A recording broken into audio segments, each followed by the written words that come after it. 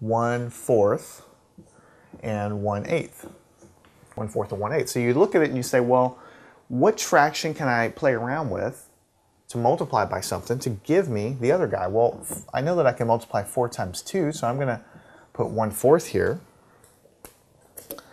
Um, and if I multiply the bottom by 2 and the top times 2, then on the bottom I'm going to have 8. 4 times 2 is 8.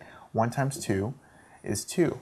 So this fraction, this 2 eighths fraction, it's exactly the same amount of pizza, so to speak, as the 1 quarter of the pizza. It represents the same thing.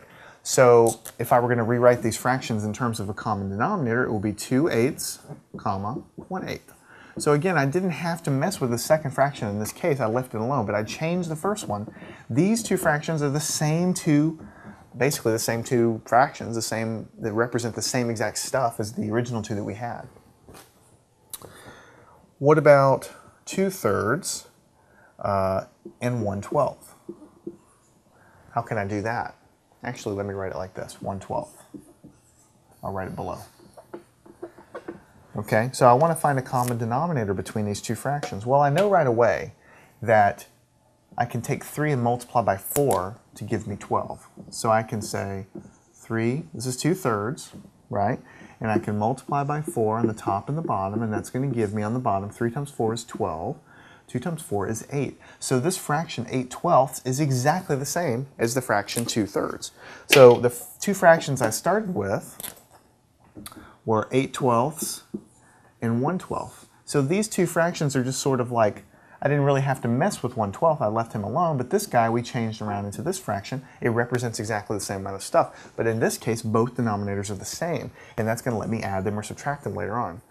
So you have complete freedom. I can multiply anything I want to a fraction as long as I do it to the top and the bottom, because in that way, if I do it that way, if I multiply by the top and the bottom, then I've continued to keep the the seesaw, so to speak, balanced. You can think of every fraction as a seesaw. Everything's balanced. If I multiply something by the top, I've got to do something and multiply the bottom by the same number in order to keep the seesaw balanced. Then I've done the same thing to both sides, so to speak, to both parts.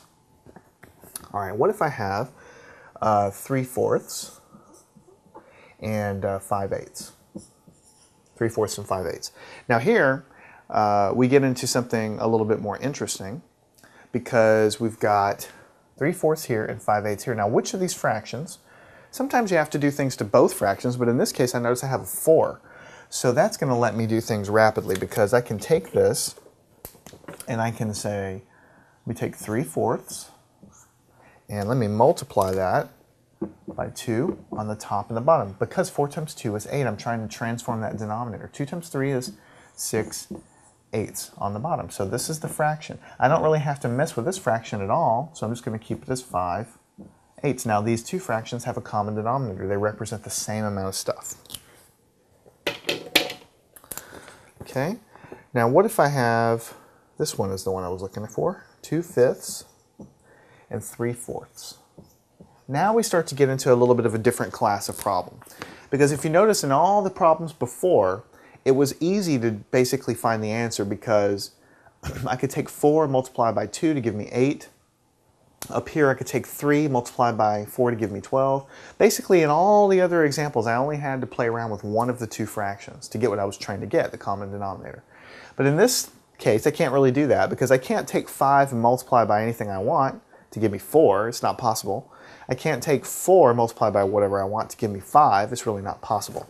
But let me show you this if I take, let me go ahead and play with this fraction. I'm not going to try to explain it in words. I'm just going to show you.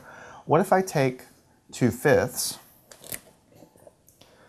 What if I just decide to multiply this fraction by 4, top and bottom? And then at the same time with the other fraction, what if I take this fraction, 3 fourths,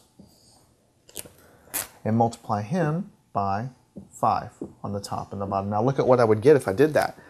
5 times 4 is 20. 4 times 5 is 20. So this top fraction would be 2 times 4 is 8. 5 times 4 is 20. Bottom fraction, 3 times 5 is 15. 4 times 5 is 20.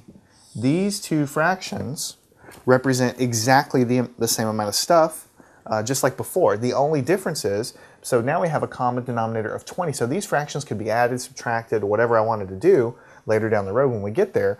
The only real difference between this problem and the other one is that I had to do something to both fractions. And most of the time you probably will have to do something to both fractions unless it works out really easy where you can just see that you, you won't have to do that. We've done problems like that before. But most of the time what you're going to end up doing is trying to find, but what we're really doing here is finding the least common multiple between 5 and 4. And so we covered least common multiple earlier in the course, but basically all it boils down to is you're looking at 5 and 4 and you're writing the multiples and then you're finding the least common multiple. But when you're working with, with fractions, it becomes cumbersome to list them all out and do all of this stuff. You're, you're going to get comfortable with, with basically finding this common denominator without having to list the least common multiple all the time. In this case, there's no number other, the, let me say it a different way. The number 20 is the smallest number possible that 5 and 4 can both divide into. If you think about that for a second, you'll, you'll, you'll agree with that. If you pick, you know, 18, or if you pick 16, let's say, 4 can go into 16, but 5 can't go into 16. What if you pick 12? Well, 4 can go into 12, but 5 can't go into 12. Well, what if you pick, you know, 17? Well, ne neither one of these numbers go into 17. What if you pick 10? Well, 5 can go into 10, but 4 can't go into 10 evenly. So the smallest number is 20.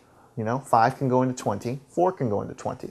And so a lot of times you're going to end up uh, doing that. And so we had to mess with both fractions in this case.